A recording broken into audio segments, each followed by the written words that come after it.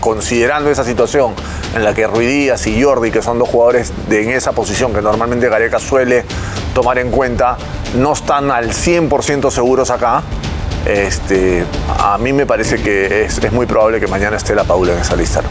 Es más, a estas alturas te diría que me sorprendería que no esté. Esto es Al Ángulo. Me llegan los mensajes, calientito este celular.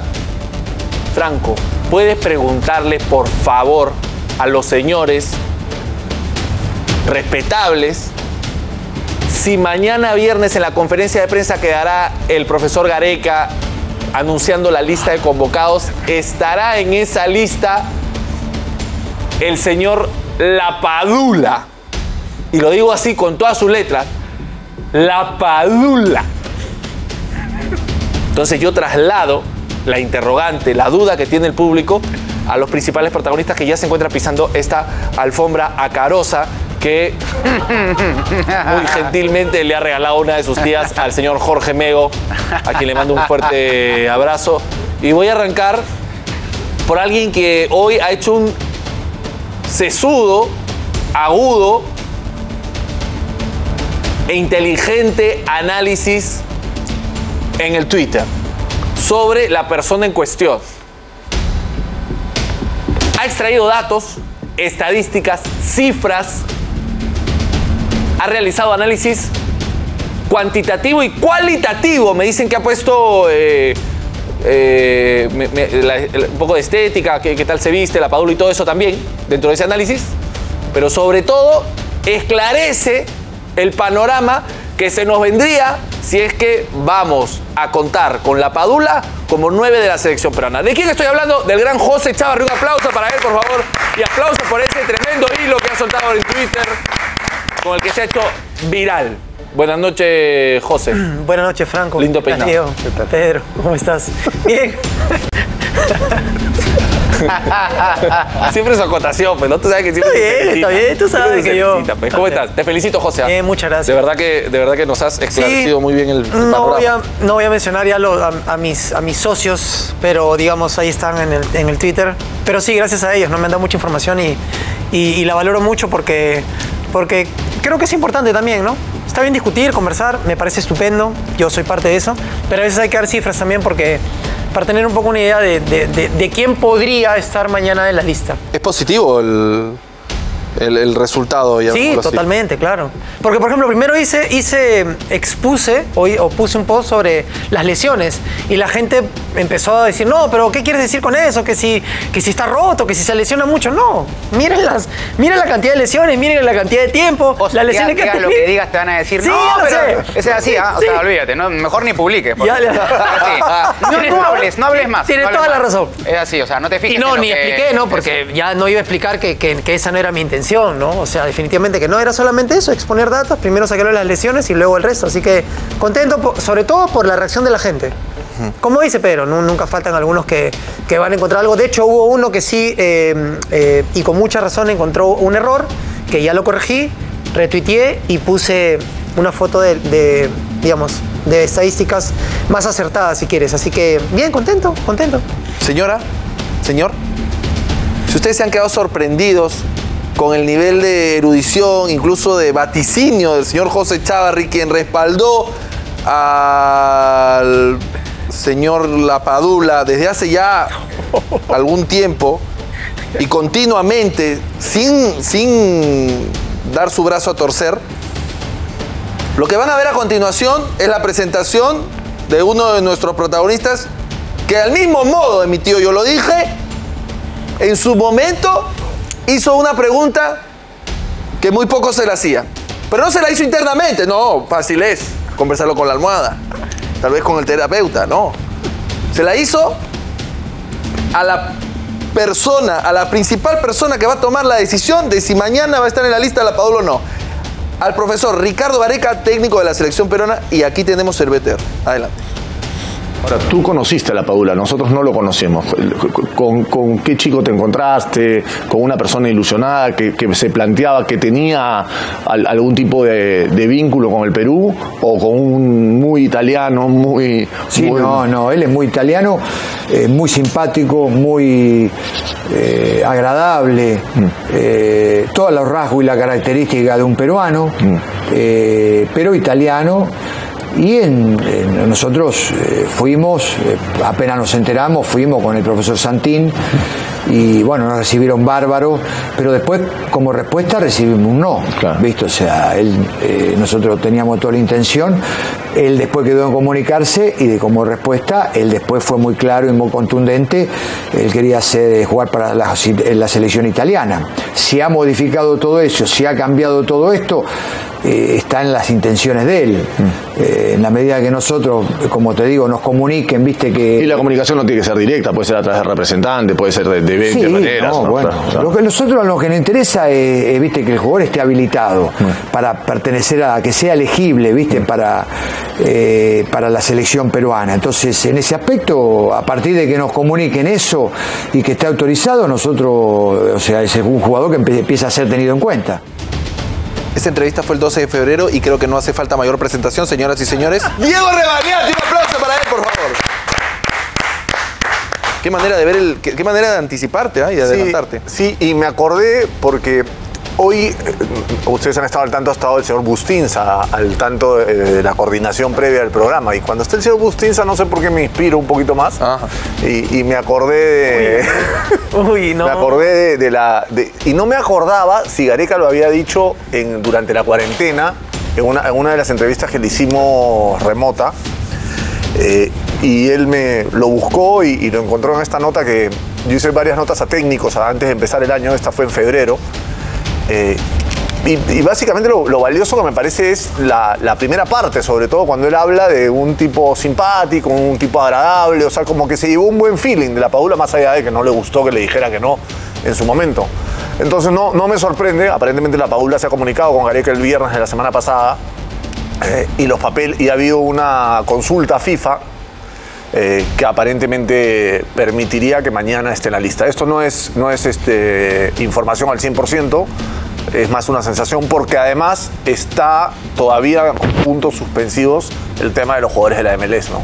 Ahí todavía hay, hay una batalla por dar que va a depender también mucho de los futbolistas y de las gestiones de la federación, pero me parece que considerando esa situación en la que Ruidías y Jordi, que son dos jugadores de, en esa posición que normalmente Gareca suele tomar en cuenta, no están al 100% seguros acá, este, a mí me parece que es, es muy probable que mañana esté la Paula en esa lista. ¿no? Es más, a estas alturas te diría que me sorprendería que no esté.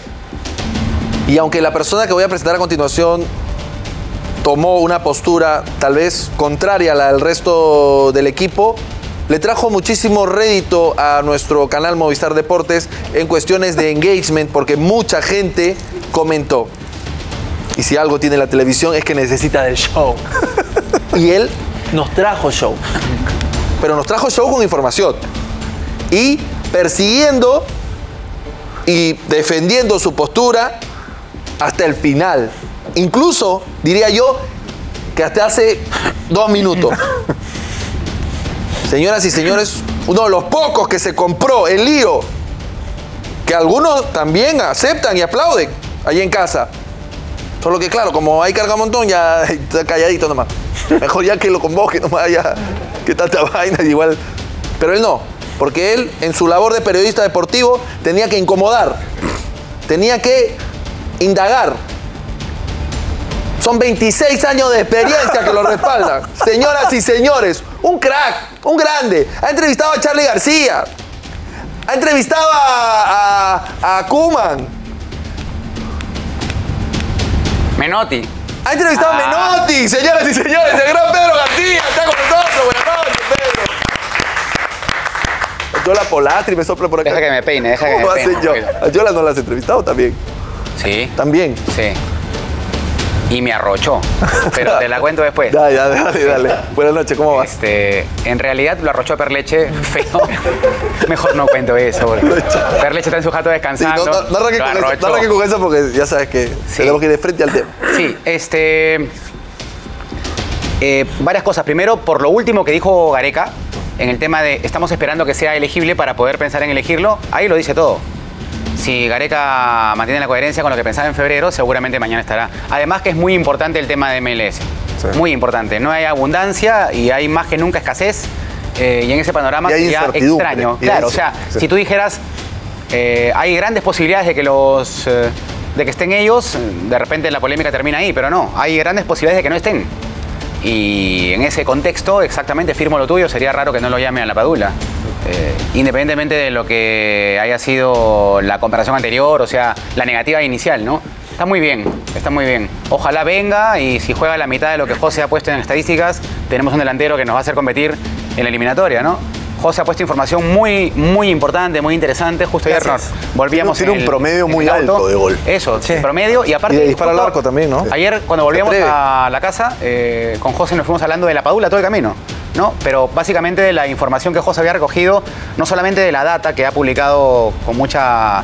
eh, eh, con mucha eh, precisión en Twitter, sino eh, de los movimientos que hace dentro de la cancha. Sí, ¿no? O sea, ya del video. importante hacerlo, sí. Y si juega la mitad de lo que hemos conversado, de lo que tú me has contado a mí, Sí, seguro. porque José lo ha visto con. con- con- lo ha hecho un seguimiento, digamos. No, para, para, para, para Eh, hacer eso sí tuve que mirar, si no, no, no, lo hubiera lógico, atrevido. claro. Ver YouTube es. Te hubiera dejado el número importantísimo. nomás, sí. Pero claro, uno ve YouTube y claro, es- esos videos pueden ser de repente no de este año, ¿no? Del pasado, del antepasado, también hay que ver eso.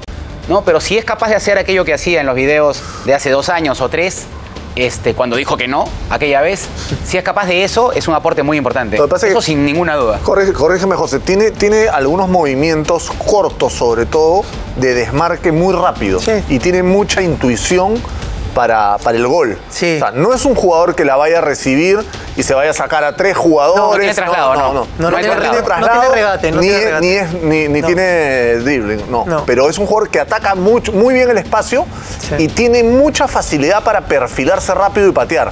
Eh, en ese sentido, salvando Tiene, las tiene, distancias, tiene. ¿sabes quién es parecido? Valera, el de el Claro. chico de Acuabamba, Claro. que, que tiene los Sí. movimientos del futsal o del fútbol playa, que en una gira, Gira. y ya está de cara al gol y es zurdo, además. Es, es bien interesante los movimientos que tiene la Padula para, para Sí, llegar al gol. por eso, si, si- si eso es, si tiene ese nivel que seguramente lo tiene, va a ser útil.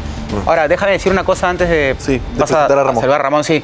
Eh, siempre es bueno decir porque ya para, eh, para un poco limpiarme la cancha también yo, ¿no? Claro. Eh, a veces ocurre en periodismo que uno tiene una percepción de un tema y transmitirla o decirla es tomar una posición a partir de una percepción. Tú, tú, tú y yo no conocemos a la padula, es una percepción sobre un tema, llámese la padula o como se llame. Esa percepción, si mi razonamiento me lleva a tomar una idea o una, eh, una posición, es legítimo decirlo, porque es mi percepción. Eh, a veces las percepciones de un periodista terminan siendo, si se quiere a cierto punto, impopulares. Se convierten en impopulares. Pero un periodista hace mal si juega para la tribuna. Y algunas cosas que podría decir no las dice porque no va a caer mal. Me parece que es un error, ¿no? Eh, hablar algo que solamente genere sensaciones positivas porque es bueno eh, dar No, claro. eh, sensaciones positivas solamente. no, No, para no eso va. te dedicas a hacer para eso me dedico a hacer este No, marketing. para, eso dice, Eh, dice lo que la gente quiere escuchar siempre. Claro, eso se no, no- trata no de eso. va, no va. A veces, a veces te toca decir cosas y hay una receptividad de la gente y te dicen yo opino como tú y, y es como que te viralizas positivamente. A veces opinas y la opinión puede llevarte a que algún grupo, no es tampoco tan numeroso como se pensó, ¿ah? o sea, eh, me reventaron el teléfono en, en Twitter y en, básicamente en Instagram para decirme derecha o izquierda, ¿estoy de acuerdo o no?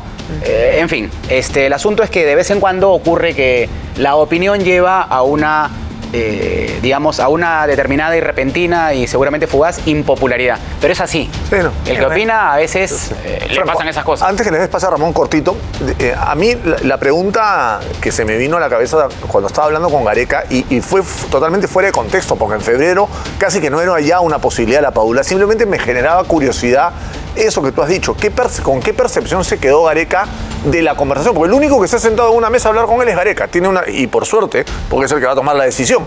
Y él usó dos palabras que a mí, dijo, es muy simpático. Y, simpático no dice de cualquiera. Puede decir, es un tipo serio, es un tipo, dijo, simpático y agradable. O sea, lo describió como alguien que le cayó bien, ¿no? O sea, podría haberme dicho, no, fue una conversación formal o, o fue una conversación este, corta, no sé, en fin. Pero las palabras que usó Gareca para describirlo en ese momento, no en esta coyuntura, donde probablemente ni siquiera se manifestaría de una manera tan eh, coloquial sobre los futbolistas, porque está ahí, está hablando de la persona y ahorita está, hablando, va- está pensando en el futbolista, no está pensando en la persona. Pero me dejaron una sensación de que a Gareca sí le hubiera parecido bacán en ese momento tenerlo incluso como persona. Y eso también ayuda a la segunda gran inter- interrogante que es cómo va a caer en el grupo. Porque si el tipo es simpático, es buena onda, será cuestión de, de que, de que se inserte rápido, ¿no? Claro. Buenas noches, Ramón. Bienvenido. Muchísimas gracias por estar con nosotros. ¿Cómo estás? Eh, La verdad que le mando un fuerte abrazo a todos, eh, a cada uno de, de todos ustedes. Eh, también a los muchachos que están atrás, que no los ven, pero yo sí los conozco muy bien. Sí, eh, de repente mañana, mañana la conferencia de, de Gareca, este, eh, ojalá pueda estar la Padula, pero me parece que mañana va a dar una lista donde va a haber sorpresa, porque también tiene que llamar un arquero. Le está suspendido Cáceres. Así es. Este, pero sí, yo creo que si la Padula viene, ojalá no lo tengamos como un salvador, como pensemos que, que es un 9 diferente a, los 9 que hemos visto, tanto a Paolo como a Farfán cuando lo ha tocado jugar de punta a punta, este, o a Ruiz Díaz, que es un 9 diferente, bueno, este, me imagino que para mañana aparentemente el profesor Gareca tendrá un mundo más, más grande, más, más, ¿cómo te podría decir? Más, más extenso Sí, para seguramente eh, él tendrá que decidir este, si es que normalmente lo va a poner en lista o no lo va a poner en lista. Dentro de las novedades que se podrían dar entre los arqueros, ¿cuál, qué nombre a ti eh, te gustaría leer en esa lista? Bueno, tienes realizando grandes actuaciones a Mellán, a Yuyo Lipman, a Solís. Ha mandado carta para Duarte. Lo que pasa que eh, también este, hay, hay un arquero este, que juega en, en Paraguay que, que lo acaba de nombrar José recién Duarte, ¿no? Duarte, sí. pero eh, el mundo del profesor Gareca será mucho más grande. Está Lima, que estuvo por un momento en la, en la selección. Claro. Eh, también este, lo tuvo Butrón, fíjate, en ese partido, de- antes de ir al Mundial, en ese partido que terminamos empatando 0 a 0 con Argentina, fue un, el momento que él lo abraza a los arqueros, quiere decir que está metido ahí en el, en el ambiente, que es una el persona que, núcleo. que- que suma, juegue o no juegue, suma. Entonces eso es muy importante. Eh, mañana al mediodía se va a acabar todo esto y tendremos que esperar la lista de Gareca, del profesor Gareca, que será una lista de repente eh, que le da la tranquilidad y la conformidad y tendremos que normalmente apoyar la lista que da el profesor Gareca. Esté quien es- que le toque estar mañana, tendremos que apoyar para enfrentar a Chile, nuestro rival, y luego a Argentina acá el 17. Ramón, ¿a ti qué te parece Solís, el chico de cristal? Porque aparentemente el, el- el cuarto arquero, porque va a llamar cuatro, a Cáceres lo va, lo va a llamar igual, eh, porque Cáceres puede estar en el segundo partido con Argentina si le dan una fecha. La- las suspensiones recién Claro. salen la próxima semana. Eh, aparentemente sería Solís el cuarto arquero. ¿Qué, qué opinión te, te das, tienes de Solís? Arquero del Sporting Cristal. A, a mí me gusta Solís. Este, me gustan los arqueros. Me parece que ahora Perú es tierra de arqueros. Como, como decían antiguamente cuando estaba tapando Don Rafa, cuando tapaba Pedro Ormeño, cuando esos arqueros sorianos vinieron a jugar al fútbol argentino. Me parece que Perú es tierra de arquero ahora. Este, yo creo que hay unos arqueros eh, muy importantes en el medio. Solís es uno. Este, el mismo Franco. Que, eh, Gracias, Franco, el- el- gracias, el- Ramón. excelente arquero, Franco. Gracias, Ramón. Eh, ahí tenemos un arquero que, que es un recogebola. Normalmente las recoge de adentro y las patea para el medio. Oye, no, a propósito del, del debut de Emil Franco, le mando un abrazo. Ah, no. Ah, pensé que estaba hablando de ti. No, Franco, no, No, está hablando Muy de bien. Emil Franco. Tú estás hablando de Emil Franco. Yo pensé que el hablando de Franco yo hago el guiño Cabrera. de que- Yo hago el guiño de que habla de mí, pero no. no, Emil, no, Emil yo- debutó. yo te estoy eh, hablando del- en del arquero. En hace uno o dos partidos debutó. Uno, uno, uno, uno. Uno, ¿no? Uno. Y, después, y ahora va a empezar a tapar. Un llama a partido, Solís, va a tapar. Claro, va, va- va a tapar, va a tener continuidad. Así que felicitaciones para él. Imagino que, mi- Las yo, yo me imagino y, y pienso que seguramente Franco va a tener va a seguir tapando porque el otro día entró muy bien y lo hizo bastante bien. Aparte tenía ganas de entrar que es muy importante para un arquero. Pero bueno mañana mañana este a las 12 del mediodía eh, Gareca va a dar la conferencia de prensa y va a dar una, lista muy importante. Y ojalá eh, de lo que estamos hablando puedan estar en la lista también no En vivo, el caso de la Padula. En vivo por Movistar Deportes, Ramosito, lo vamos a ver mañana. En vivo por Movistar Deportes me parece que va a estar Pedro Eloy Y Horacio. y Horacio Zimmerman. Van a estar eh, mandándole la pregunta al profe. ¿Quién va a hacer la pregunta? ¿Él o tú, tú o Hora- o Horacio? Ahora, el que haga la en pregunta, el momento, el sí. que haga la pregunta, mándela, pero no, pasa la vez pasada, ¿no? ¿No la mandaron? Ah, sí. no, que no. uno la hizo y el otro la mandó. Claro, Claro. no, no, no, ahí, la, ahí la manda la ahí- cambia un poquito, ahí, la consensuamos después este, Y, para que y- sea y a- todo bien. ajusten un poquito al profe también, ¿no? Para que conteste un poquito No, más claro. la vez pasada, Sí, eso, la, ¿no? la segunda conferencia eh, ¿Sí? se, Se relajó un poco más Con comunicativa. mucho cariño le decimos, ah, por si acaso. Sí, comunicativa, fue más comunicativa. Yo creo que. Y, y- y estuvo medio. Este. O sea, Gareca le comentó a gente de su entorno tras esa conferencia en la que lo acusamos de estar asado. eh, Que no estaba. comentó, ¿no? Eh, O sea, dijo que no estaba, molesto, que no estaba molesto, sino estaba muy. ¿Cuál es la palabra? Estaba incómodo por la falta de los periodistas. O sea, no se sentía. Por el contexto. por el contexto de tener que dar una conferencia Por virtual formato. y el Ah, formato claro, y todo eso. Sí, responde. sí, sí. Claro, claro. Sí, es más, un jugador suyo, enterado de la situación, me escribió, o sea, uno de los convocados, eh, para, para decirme esa, esa tesis, y en vivo, ¿ah? En vivo, o sea, el mismo día, la misma hora de conferencia, percibiéndolo a Gareca y conociéndolo, dijo, debe estar incómodo por la ausencia y tal, tal, tal, tal, me lo dijo clarito. Y fue una teoría seguramente Fue, la, fue la explicación que, que a mí me llegó, por lo No, menos. fue como desconcertante de repente Sí. que tuviese y, y de hecho en la segunda conferencia, que ya ocurre unos días después, eh, se explaya un poco más en sus respuestas. Sí.